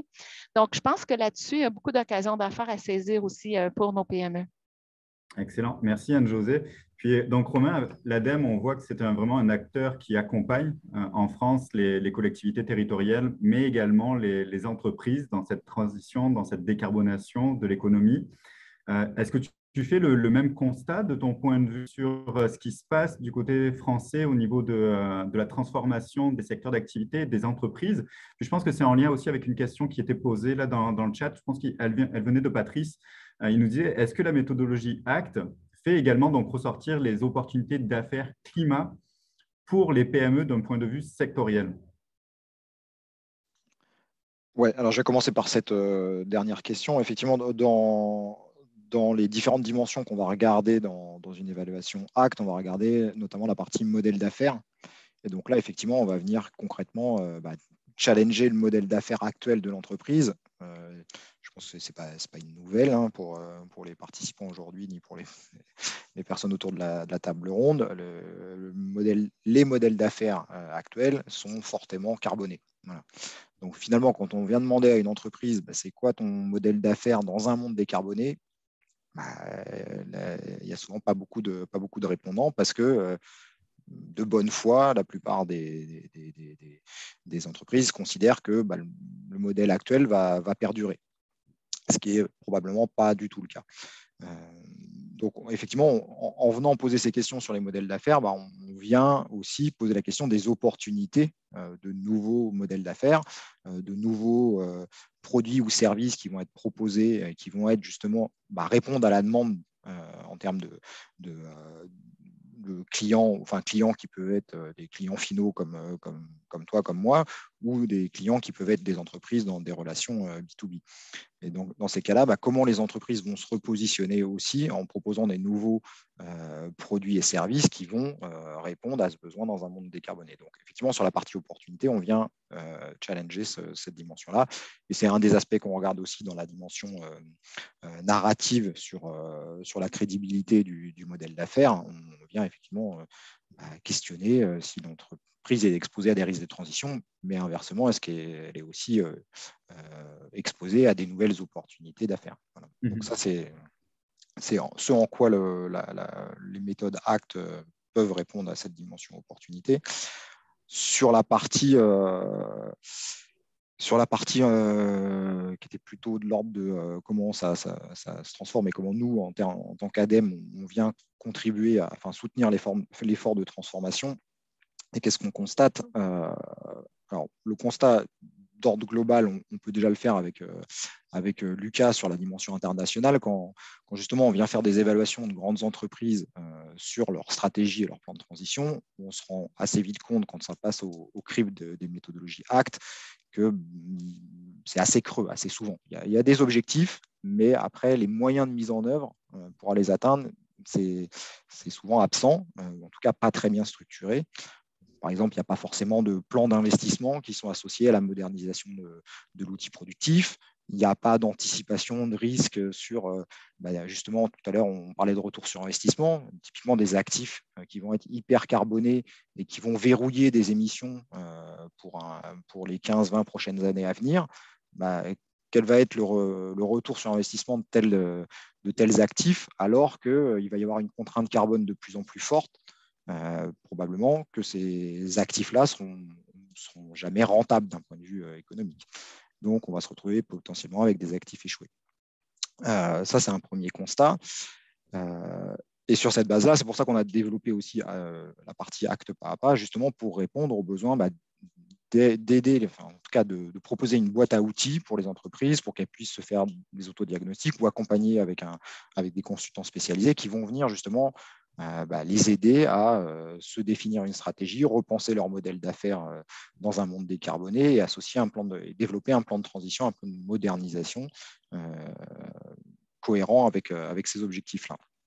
Et là, alors, au, départ, on s'est dit que c'était, on aurait justement plutôt une demande côté côté PME ETI, mais on se rend compte qu'il y a aussi des grands groupes qui ont besoin de cet accompagnement-là. Euh, et, là, très clairement, nous, on a un programme spécifique en France qui s'appelle Acte en France, parce a la légitimité en tant qu'agence d'État de venir animer ce, dispositif en France. Et euh, justement, on voit là, il y a quasiment, euh, voilà, sans qu'on en fasse trop la, promotion, une dizaine d'entreprises qui viennent s'inscrire justement dans cet accompagnement acte pas à pas. Et là, de façon un peu plus récente, on a même des grands donneurs d'ordre qui viennent nous voir en disant, bah, justement, cette partie acte pas à pas, ça nous intéresse parce que beaucoup de nos fournisseurs sont des PME. Et justement, si on veut euh, notre décarbonation en tant que grand groupe, elle passe aussi par la décarbonation de notre chaîne de valeur amont et de nos fournisseurs. Donc, comment on va pouvoir venir aussi proposer euh, ce type d'accompagnement acte pas à pas pour que justement bah, les PME euh, décarbonisent et contribuent à décarboner leurs clients.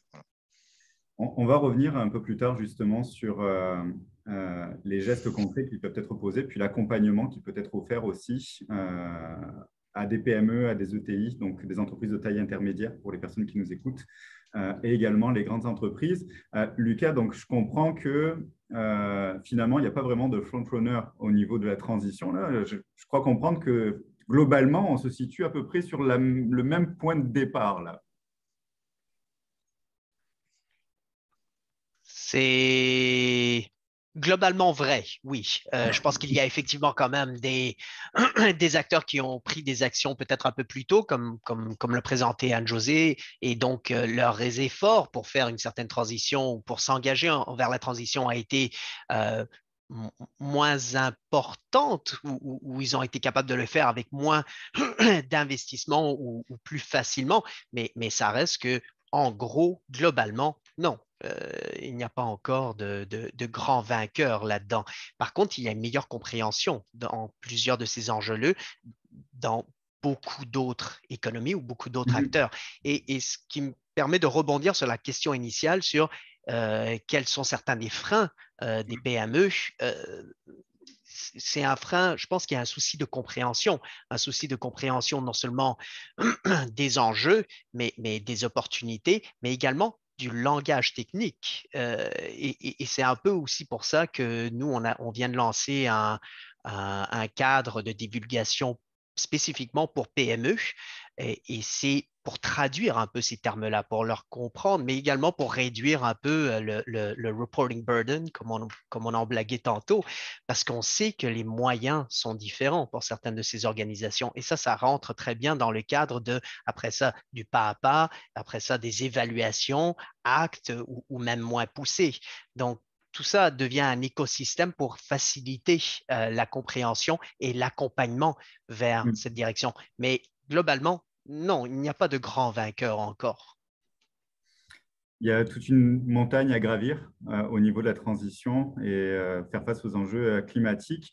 Puis on, comprend, quand je vous entends, Anne-Josée, Lucas et, Romain, que cette transition-là mobilise et mobilisera des financements, des investissements qui vont être aussi très importants.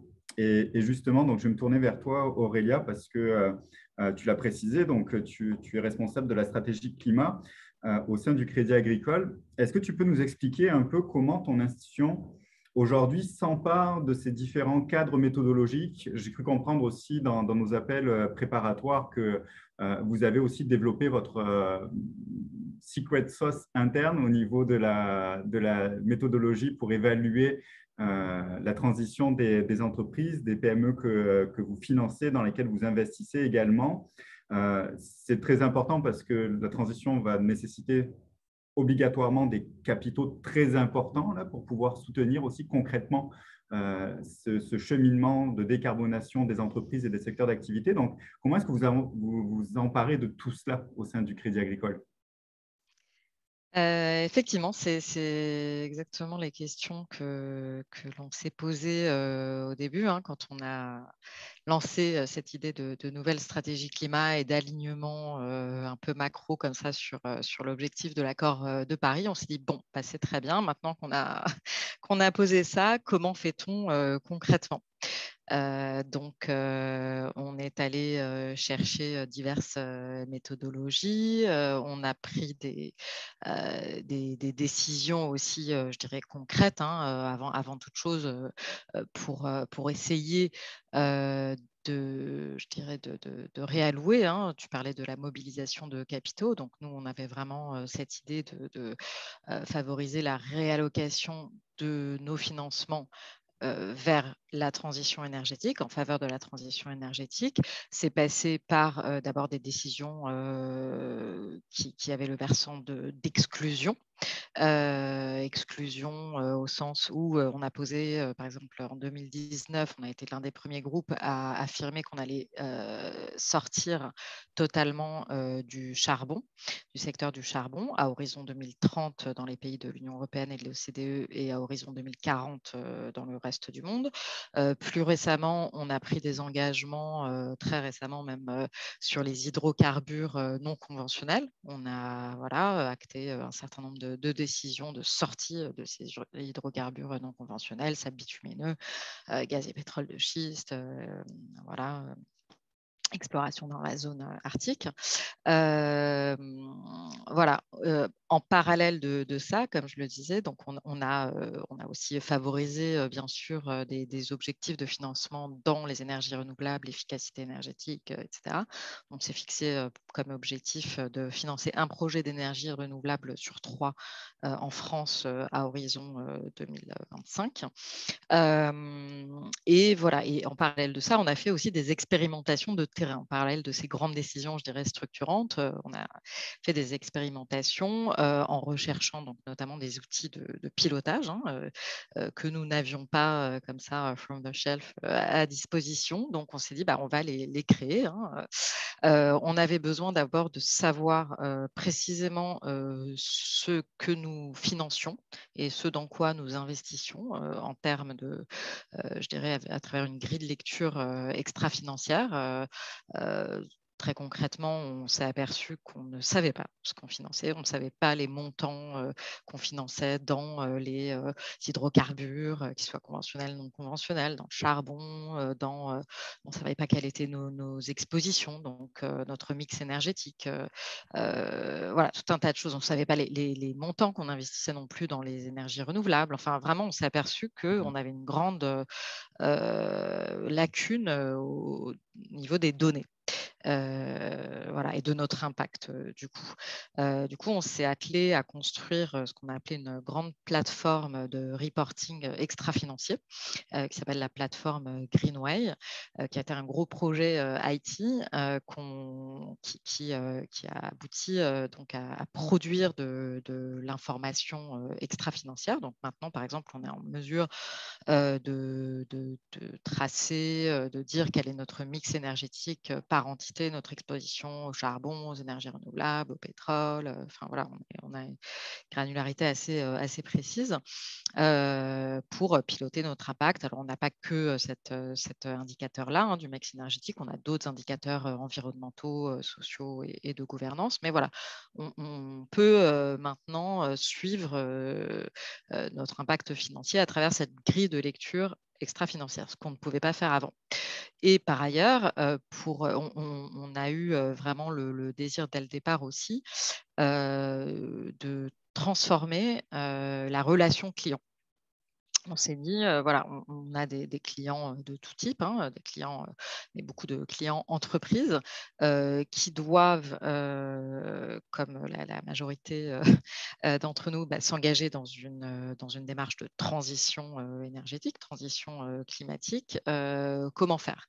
Donc, on s'est dit, bah, il faudrait qu'on arrive à évaluer hein, euh, tout d'abord euh, leur démarche de transition, enfin leur positionnement, là où ils en sont euh, à date. alors non seulement pour identifier, comme on disait tout à l'heure, les gagnants et les perdants de la transition énergétique, c'était pas, on pouvait avoir cet horizon un peu, enfin cette dimension un peu risque à l'horizon, mais ce n'est pas uniquement euh, en termes de risque et opportunité, c'est d'abord en termes d'accompagnement, de dialogue euh, avec le client. nous, on est une banque qui veut accompagner euh, les clients, euh, quel que soit leur point de départ, même s'ils sont très euh, voilà, peu vertueux, on va dire. notre idée, c'est d'accompagner les clients dans cette démarche de transition. Et donc, bah, du coup, on a, on a voulu créer un outil, un outil qui soit d'abord un outil de dialogue donc, et d'accompagnement. On ne l'a pas trouvé sur le marché, hein, dans, les, dans les différentes méthodologies de place. La seule méthodologie proche de ce qu'on voulait faire qu'on ait trouvé, c'est la méthodologie ACT, précisément, bien sûr, euh, qui est très, très proche hein, dans, les, dans les principes. On travaille euh, beaucoup avec, euh, avec Romain sur, sur un échange d'expertise, une approche comparative. Donc vraiment dans les grands principes, c'est très proche. Néanmoins, la grosse différence, c'est que nous, on avait pour vocation de noter rapidement un très grand nombre d'entreprises. On a euh, voilà, plus, de, plus de 10 000 entreprises cotées euh, clientes, plus de 100 000 entreprises non cotées PME, ETI. Euh, mmh. voilà, on avait besoin de cette approche vraiment industrielle de, masse, si j'ose dire.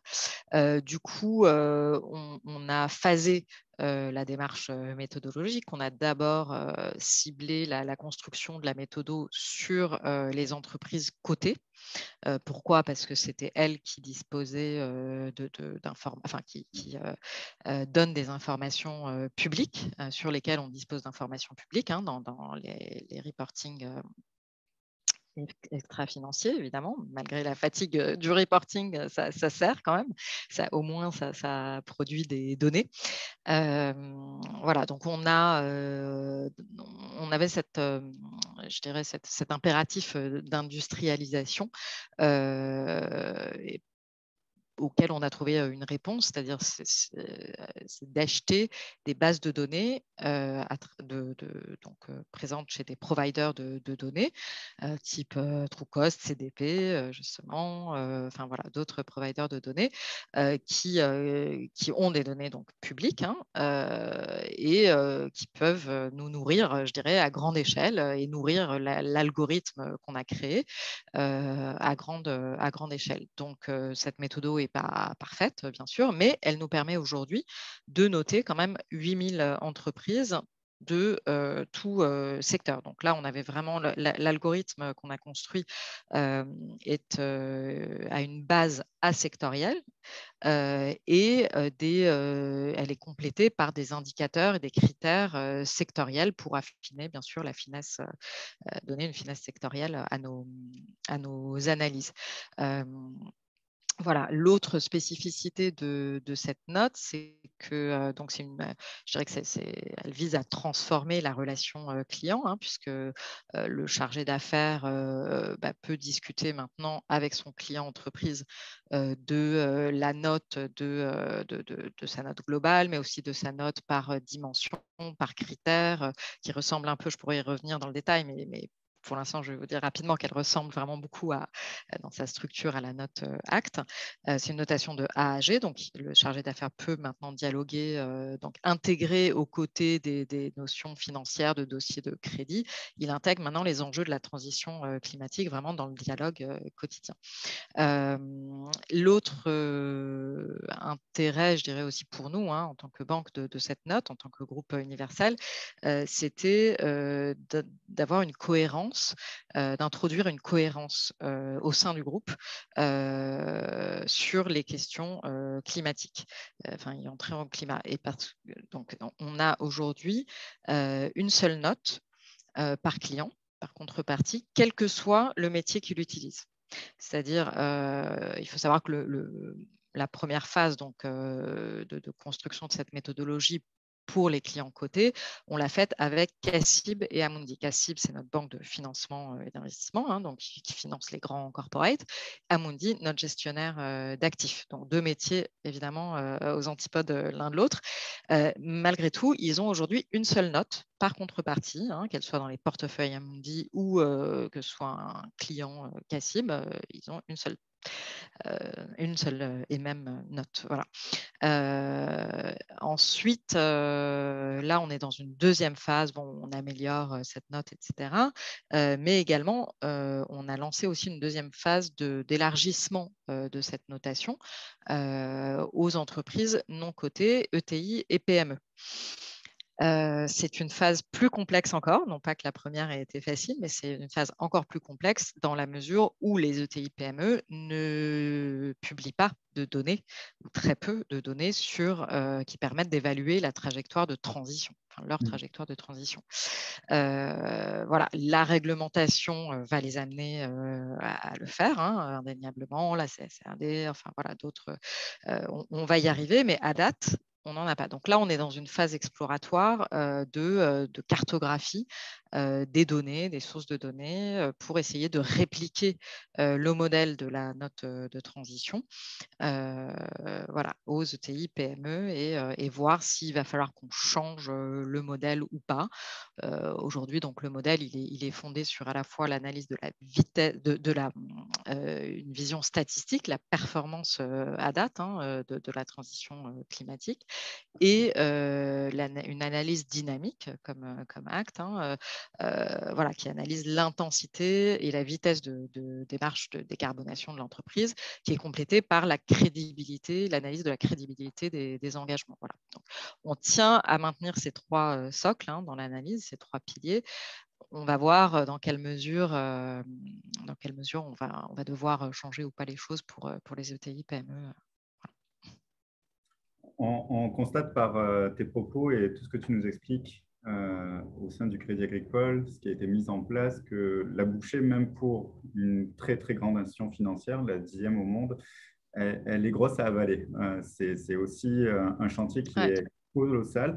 Et on comprend de, tes propos que la donnée, l'information extra-financière, les cadres de divulgation sont extrêmement importants. Puis je vais peut-être me tourner vers toi, Lucas, justement, euh, parce que euh, vous venez d'ailleurs de publier là tout récemment, tu, l'évoquais euh, il y a quelques instants, un cadre de, divulgation climatique spécifiquement pour les PME. Est-ce que tu peux nous en dire un peu plus là, sur ce cadre-là, ce que vous cherchez à faire là? On comprend que le, langage commun, les définitions qui sont partagées sont extrêmement importantes, qu'on puisse avoir le même point de départ par rapport à une problématique qui est conjointe au niveau de la transition. Euh, donc, si tu peux nous en dire un peu plus là-dessus. Également, comment ça va s'articuler avec euh, la méthodologie ACT qui est au cœur de notre discussion euh, aujourd'hui? Et par extension, j'aimerais aussi peut-être t'amener à, nous parler euh, de, des efforts de normalisation d'un point de vue international. On a parlé tantôt de l'International Sustainability Standards Board. Euh, CDP, justement, fait partie des, organisations qui, vont, œuvrer avec euh, ce, board international qui vise à, édicter des, des normes extra-financières ou des normes de durabilité aux quatre coins du globe, qu'on puisse comparer des pommes avec des pommes, enfin, là, parce que c'est aussi un enjeu là, au niveau de la transition, de s'assurer que euh, euh, ce que nous dit une entreprise A est exactement la même chose que nous dit une entreprise B. Donc, est-ce que tu peux un peu nous, euh, nous, démystifier tout cela, nous apporter un peu de, clarification au niveau de tous les cadres de ce que vous faites et comment finalement ça va converger pour avoir une seule et même information dans le temps? Donc, on a, euh, on a un questionnaire qui est complexe et qui essaye de capturer énormément d'informations, à la fois qualitatives et quantitatives. Euh, mais encore une fois, c'est complexe. Et il y a quelques années, on s'est rendu compte qu'il fallait qu'on puisse simplifier ce questionnaire-là afin de euh, pouvoir intégrer plus de plus d'entreprises et, et les aider à fournir ces données justement à des gens comme le Crédit Agricole pour qu'ils puissent faire leurs propres analyses.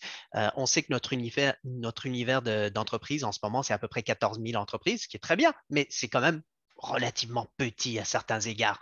Donc, euh, on a fait un questionnaire simplifié il y a quelques années. Par contre, quand je dis simplifié, c'était à peu près 15% plus simple, euh, ce qui était quand même très compliqué pour la plupart des, répondants. Et euh, notre cible, c'était les entreprises de moins de 250 millions de revenus. Donc, ça ne visait pas vraiment les PME. Euh, et avec, disons, l'augmentation des grands acheteurs, l'intérêt des grands acheteurs à avoir des science-based targets, à avoir des données pour pouvoir en amont rentrer dans euh, une, euh, une, évaluation de comment ils sont en train de performer par rapport à leurs science-based targets, mais également les prêteurs, les banques qui veulent avoir une meilleure indication de leur portfolio. On s'est tourné vers la création de quelque chose de euh, beaucoup plus simplifié. et là, on est en train de parler du, de c'est à peu près une quarantaine de questions. C'est vraiment simple. C'est également du langage plus simple qui n'essaie pas d'éliminer l'importance du langage scientifique qui a été, euh, qui, avec lequel on a bâti un certain consensus au, au, cours des 15 dernières années, mais tout simplement pour les accompagner à comprendre ce langage-là. Donc, ce cadre d'analyse nous permet de, euh, ce cadre pardon, de divulgation nous permet d'aller les chercher, de commencer, de les aider à commencer à faire leur reporting climatique.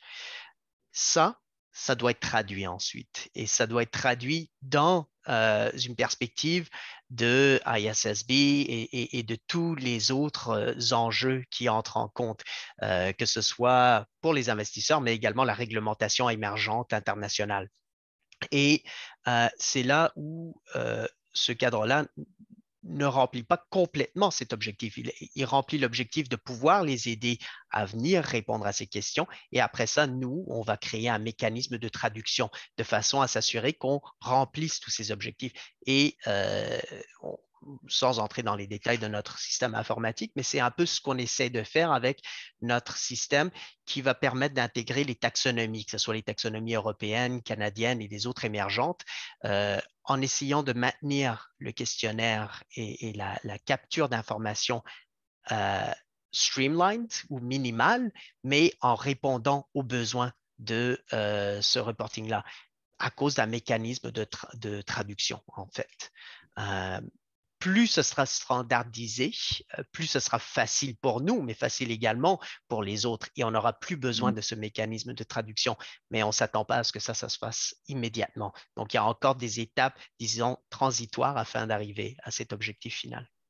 Et, justement, donc, euh, cette, cette, étape transitoire telle que tu as décrit, ça va nécessairement euh, mobiliser les acteurs financiers et les entreprises à collaborer étroitement là, face euh, aux enjeux climatiques. Là, on, voit qu'il y a quand même euh, beaucoup de concepts de définition à intégrer, de, un langage commun à élaborer. puis Romain, tu nous parlais justement de, de la démarche acte pas à pas, donc l'accompagnement spécifique au niveau des entreprises. Euh, puis je pense qu'il y avait un commentaire d'ailleurs dans le chat euh, euh, d'une personne qui nous disait que la bonne nouvelle au Québec, c'est qu'il peut y avoir des subventions justement là, pour des entreprises qui veulent rentrer dans une démarche pas à pas d'accompagnement progressif, spécifiquement sur la méthodologie ACT avec le fonds EcoLeader. Donc je pense qu'il y a un lien dans le, dans le chat, allez voir. mais tu peux nous, nous présenter davantage là, cet accompagnement au niveau des entreprises qui peut être offert par la méthodologie ACT Ouais. Très concrètement, on, repart du socle commun qu'on a vu tout à l'heure, les, neuf modules qui permettent d'approcher la, performance de la stratégie et du, plan de transition. à partir de là, on va pouvoir. Alors, nous, en tant qu'agence d'État, on va former des, consultants euh, qui vont ensuite euh, bah, accompagner leurs clients. Justement, alors nous, c'est pareil, on a à peu près cette, même approche de, euh, de, subventions qui, sont possibles en, France avec grosso modo, on, considère qu'il y a à peu près une trentaine de jours d'accompagnement par un consultant pour vraiment euh, partir de la feuille blanche euh, jusqu'à la stratégie et plan de transition détaillé de l'entreprise. Et du coup, nous, on peut venir aussi euh, en France accompagner jusqu'à hauteur de 70% les, les, les, PME sur, qui, font appel à un consultant. L'idée, c'est vraiment que dans cette approche pas à pas, elles puissent avoir bah, un premier état des lieux, un premier diagnostic pour comprendre leur positionnement actuel, et puis ensuite qu'elles puissent concrètement travailler sur euh, cette, stratégie et le plan de transition associé. Donc on va pouvoir aussi valider étape après étape euh, bah, le progrès de l'entreprise dans la constitution de, et l'élaboration de ce plan de transition. Donc, on a des outils qui vont de euh, euh, le positionnement sur une trajectoire de décarbonation à des outils qui permettent bah, d'animer des, des, séances de travail en interne pour justement se reposer les questions des opportunités business pour l'entreprise au vu de ses activités actuelles et quelles, quelles pourraient être ses activités dans le futur, euh, quels vont être ses besoins de, euh, modernisation de l'appareil productif ou de repositionnement complet, euh, si effectivement ça nécessite un repositionnement complet. Donc cet accompagnement acte permet justement de, proposer cette étape-là. Et pour peut-être pousser un peu plus la réflexion au niveau de l'accompagnement avec Anne-Josée et Aurélia. Anne-Josée, là, on comprend aussi euh, du côté de Québec Net Positif, donc c'est très important, euh, la sensibilisation, l'éducation des différentes parties prenantes sur la transition. Euh, comment vois-tu aussi l'accompagnement de, nos entreprises sur, sur cette trajectoire de, transition? Puis, je vais rebondir également par rapport à une question qui a été posée par Brice dans, dans, dans le chat qui, qui disait, qui, enfin, qui demandait justement, au-delà de, de, ces méthodologies, des évaluations, etc., quelle alternative on, peut proposer aux, PME là, pour ne pas perdre leur place euh, à l'international en termes de compétitivité. Puis je pense à la cartographie que tu nous as présentée aussi tantôt. Comment vois-tu la chose pour, pour les entreprises euh, en termes d'accompagnement? C'est sûr qu'en termes d'accompagnement, on l'a dit à plusieurs reprises, il y a vraiment un manque de connaissances du côté des PME. On pourrait prendre l'approche de dire, bien, il faut que toutes nos PME développent ces compétences-là, mais on a dans l'écosystème du Québec, puis on l'a fait dans notre cartographie, un paquet de monde qu'on a appelé les accélérateurs de transition. Donc, on a déjà beaucoup d'experts euh, qui peuvent accompagner les entreprises. Mais comme on le voit dans les résultats des statistiques, c'est qu'en ce moment, quand on accompagne nos entreprises en développement durable, on les oriente beaucoup, beaucoup vers les aspects sociaux. Donc, l'aspect action climatique n'est pas suffisamment intégré dans les stratégies. Donc, on a développé le diagnostic stratégique d'action climatique, vraiment adapté au contexte québécois, très simple avec CCG. Puis ça, c'est quelque chose qui peut être un premier pas, mais je pense que on a besoin de mieux équiper l'ensemble des, experts que eux aient le goût de, de prendre l'action climatique, puis de se faire former pour la méthodologie ACT, par exemple, puis qu'on ait de plus en plus de gens qui sont en mesure d'accompagner les PME avec une telle méthodologie qui est bien structurée, reconnue à l'international. Je pense que c'est quelque chose qui serait très important pour que quand on accompagne les PME en développement durable, l'action climatique, elle est vraiment bien intégrée dans la stratégie d'affaires, puis de la bonne façon. L'autre élément clé, c'est qu'on sait très bien que même si on équipe une entreprise du mieux possible, la transition ne peut pas se faire juste sur une base individuelle. La transition est influencée par ce qui se passe dans son secteur d'activité. Donc, il y a quelque chose de collectif à la transition. Il y a quelque chose où il faut mobiliser aussi l'ensemble de l'écosystème d'affaires pour créer un climat propice à la transition, particulièrement un climat qui va être propice à la transition des PME. Donc, je pense que mobiliser beaucoup d'experts, d'intervenants, les gens du Fonds Colidaire pour qu'on connaisse les méthodologies qui existent pour l'action climatique, qu'elles soient appliquées ici au Québec, c'est super important. On a besoin aussi de la mobilisation, c'est pour ça qu'on est ici ce matin, la communauté financière. Donc, les investisseurs, les banquiers, les assureurs mmh. sont souvent à des moments de vérité, des moments charnières avec nos PME. Au moment où la PME pense acheter un nouvel équipement, il va avoir une interaction quelque part avec quelqu'un de la finance. Puis à ce moment-là, si la bonne question est posée pour dire, est-ce que le nouvel équipement va émettre moins de gaz à effet de serre que le précédent? Pourquoi, pourquoi pas? Puis regarde, tu risques de locker des émissions de gaz à effet de serre pour une longue période.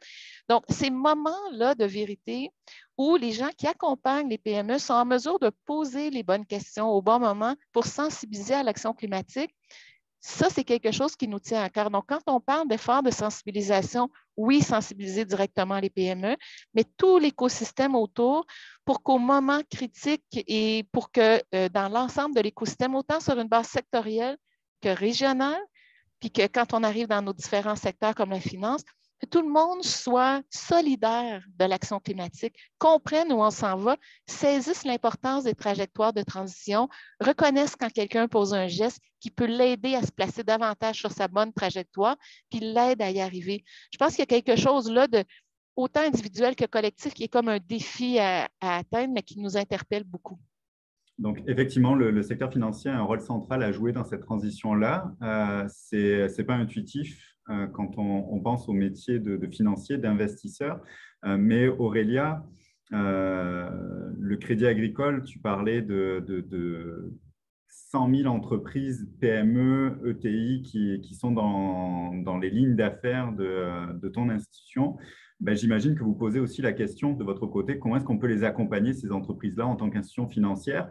Donc, il y a des carottes, pour amener la, transition, mais il y a peut-être aussi des fois des, bâtons. Euh, est-ce que, par exemple, une entreprise qui ne serait pas alignée sur euh, des cibles de transition, de décarbonation, pourrait voir à un moment donné son coût de capital augmenter dans le temps?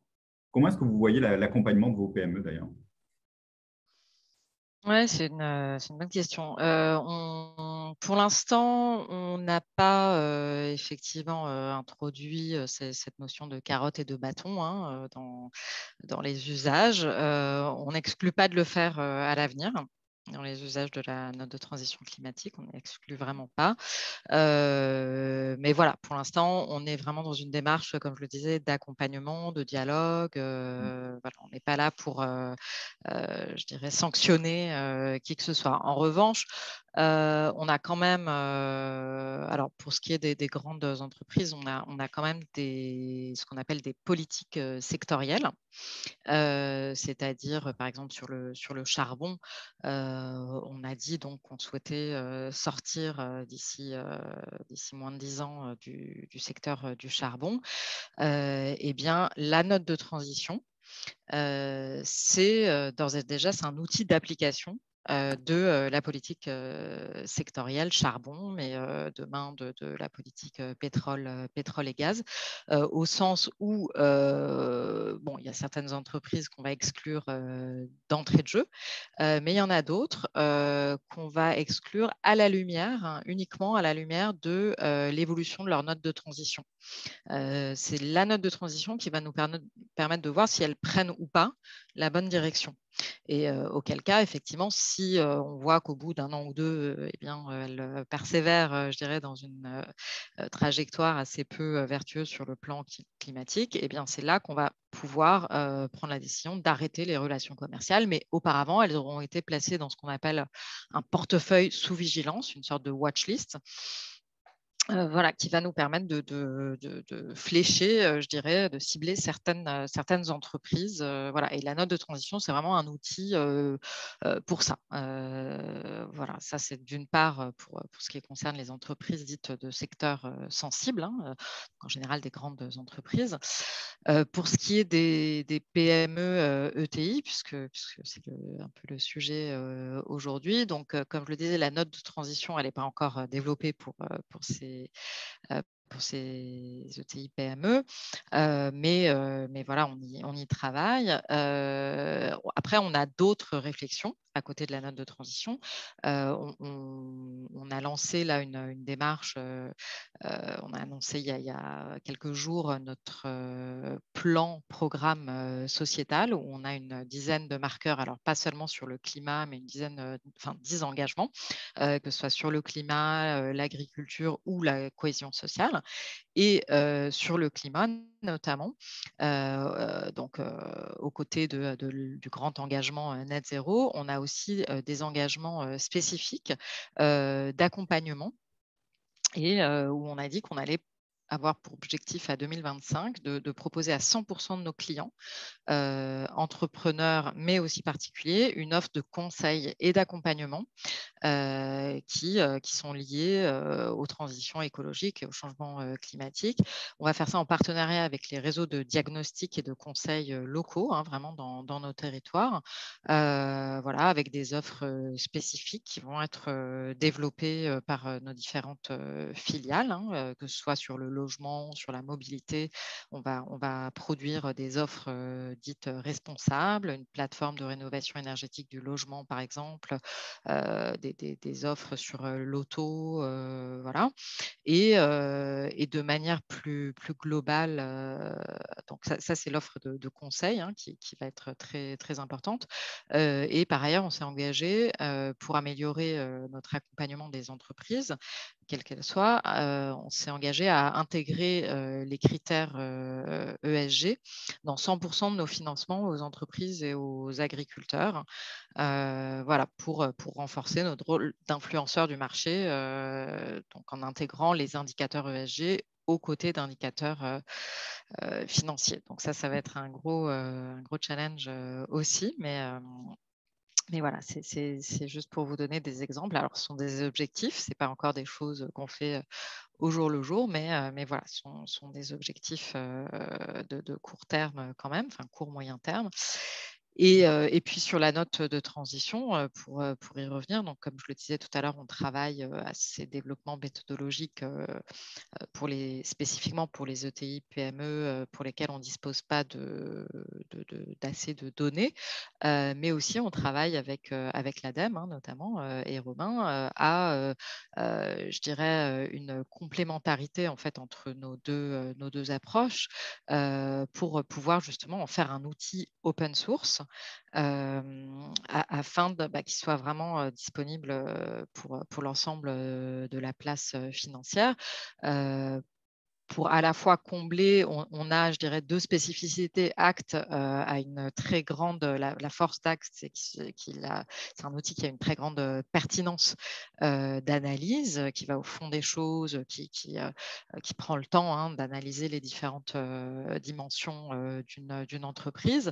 et la force, si j'ose dire, de notre méthodologie, de la note de transition climatique, c'est qu'on a cette large couverture qui permet une une grande massification, hein, euh, donc potentiellement vraiment d'avoir, euh, de, noter un grand nombre euh, d'entreprises. Et donc, on essaye, on, réfléchit hein, avec, avec Robin à, essayer d'articuler les deux pour, pour pouvoir offrir donc un outil qui soit accessible par le plus grand nombre, enfin appropriable pour le plus grand nombre, tout en étant le plus pertinent et le plus granulaire possible. Excellent, merci beaucoup. Je suis soucieux du temps. On a dépassé déjà le, cadre qui nous était euh, euh, alloué aujourd'hui. Je voudrais juste euh, terminer, puis je m'en de, de, manquer cela, mais si vous aviez aujourd'hui entre les mains une baguette magique, puis vous avez la possibilité d'accélérer de façon significative la transition des entreprises vers des modèles sobre en carbone, ce serait quoi votre, souhait, votre, votre vœu euh, en, quelques, en quelques mots, quelques secondes, euh, je vais peut-être commencer par toi, Anne-Josée, là-dessus. Qu'est-ce que tu ferais pour accélérer tout ça? Ben, je crois que si c'était possible d'avoir une note de transition pour toutes les entreprises du Québec, puis qu'elles comprennent où elles se situent sur leur trajectoire, euh, moi, je crois qu'on a le potentiel au Québec d'être l'économie avec euh, le plus grand nombre d'entreprises qui sont sur une trajectoire de transition. Puis je pense que quand on parle d'une prospérité durable, euh, c'est quelque chose qui, qui, serait vraiment souhaitable. Donc, un seul métrique partagé par tout le monde. J'imagine, Lucas, Romain, vous êtes d'accord avec ça? Oui, en somme, oui. La réglementation aussi. Je pense que c'est pas, faut pas l'ignorer. Ça peut être un levier très important et, ouais. Donc, le, rôle des, euh, législateurs et, euh, euh, des, exécutifs également au niveau de cette transition-là. Aurélia, en tant que financier, oui, je partage. Ça peut paraître paradoxal, mais oui, j'appelle à une plus grande réglementation, effectivement, à des, décisions politiques plus, plus courageuses et plus fortes de la part des, gouvernements. Et aussi, je pense à une gouvernance mondiale des enjeux climatiques. Je pense que, que ça serait utile pour, pour atteindre bah, cet objectif de neutralité carbone, qui est un objectif planétaire quand même. Hein. Mmh. Personne ne va atteindre en réalité la neutralité carbone tout seul. L'ADEME l'a énoncé il n'y a pas très longtemps dans un avis très, très important. Hein. La neutralité carbone au sens individuel ne veut rien dire et pourtant on, on s'y est engagé, nous, en tant qu'institution financière, mais c'est vrai que ça ne veut rien dire. C'est un enjeu planétaire et donc il faut que la gouvernance soit euh, à la hauteur et euh, planétaire aussi. Parfait. Merci beaucoup euh, pour cette heure et demie passée ensemble. Vous avez été passionnant. c'est vraiment une première discussion. Je pense qu'il va falloir avoir des follow-up très réguliers pour amener effectivement toutes ces notions euh, la transformation des PME, des secteurs d'activité, que ce soit au Québec, que ce soit ailleurs dans le monde. De toute façon, c'est un enjeu, comme tu le disais, Aurélia, qui est global. Donc, euh, face à, une urgence qui dépasse très largement la capacité d'action individuelle de quelque acteur qu'il soit, aussi important soit-il également, on n'a pas d'autre choix que de converger et de collaborer face à cela. Donc, ça fera l'occasion de, prochaines rencontres, de prochaines matinées de l'initiative de la finance durable. Donc, je remercie très chaleureusement QuébecNet Positif, euh, CCG, euh, accélérateur de solutions climatiques, CDP, l'ADEME et le Crédit Agricole pour avoir participé à cette table ronde. Et je vous donne rendez-vous donc dès janvier 2022 pour nos prochaines matinées de l'initiative pour la finance durable. On est le 9 décembre, donc également, je vous souhaite un agréable temps des fêtes, du repos et de profiter également de vos familles, de vos amis pendant cette période-là. À très vite. Merci. Merci beaucoup. Merci beaucoup. Merci. Bonne, bonne fin de journée pour vous. enfin, bonne journée plutôt. Bonne fin de journée pour Aurélia. Merci.